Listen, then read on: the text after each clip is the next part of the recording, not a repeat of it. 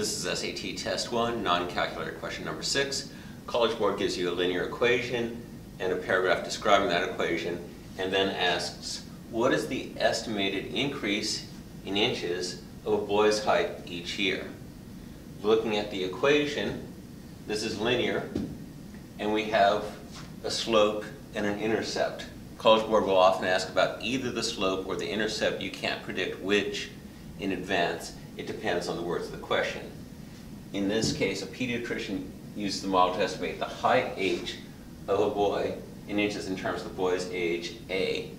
So the increase in height per year will be the slope, 3. To verify that, you can substitute in ages between 2 and 5. So let's try the height at age 2. Age of 2 equals 3 times your age 2 plus 28.6. 3 times 2 is 6, plus 28.6 is 34.6. And the height at age 3 equals 3 times your age 3 plus 28.6 is 9 plus 28.6 is 37.6.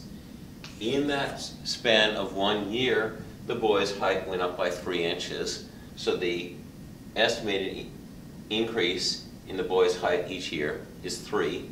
So I chose the correct answer. College Board will typically ask one of each, one on slope, one on intercept, on each exam, so you can expect this question dealing with this, interpreting the slope and the intercept of a linear equation in context. Come back soon for my next math video. With math, there's always more.